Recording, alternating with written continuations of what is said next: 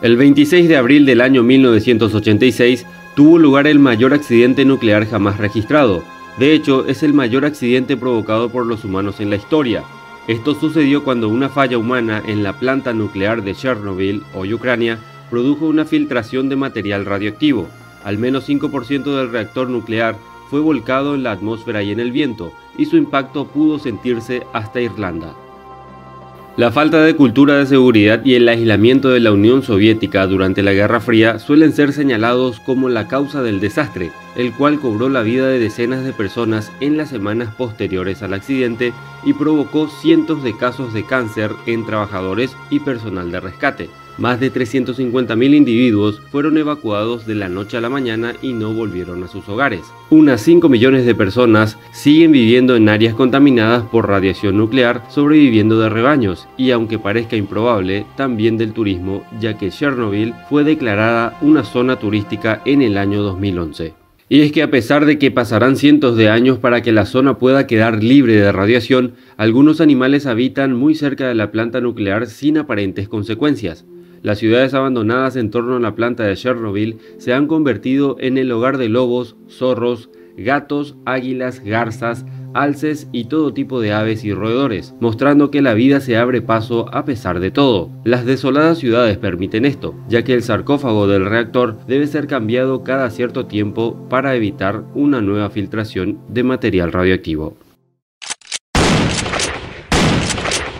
La prohibición de acceder a la zona y el miedo a la radiación se encargan de que los animales no sufran la amenaza de los cazadores.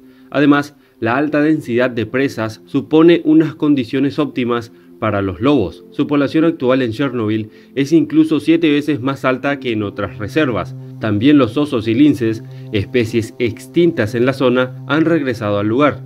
Otras también, como los bisontes y los caballos salvajes de Sewalski, han sido introducidas en este paraje con el fin de aumentar la biodiversidad.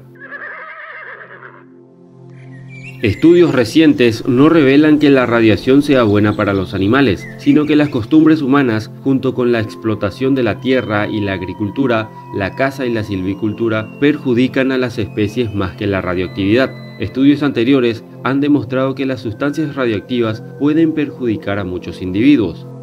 Se constató, por ejemplo, que las golondrinas que vivían en el entorno donde sucedió el desastre nuclear presentaban de promedio malformaciones con más frecuencia, picos deformes o plumaje poco desarrollado, entre otras cosas. Asimismo, se han documentado daños y mutaciones en insectos, arañas, aves migratorias y peces. Por ello, Anders Müller, de la Universidad de París Sur, criticaba hace unos años la afirmación de que Chernobyl fuese un paraíso natural. Según indicó, este supuesto se basa únicamente en informes anecdóticos, no en estudios empíricos.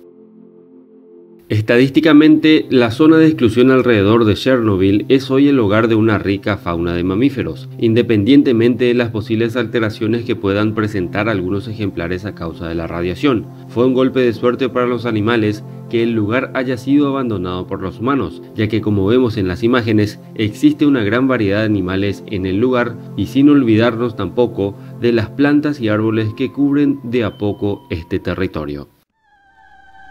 Bueno, esto fue todo por hoy. Espero que les haya sido útil este vídeo. Me despido de ustedes como siempre dándole las gracias. Hasta la próxima.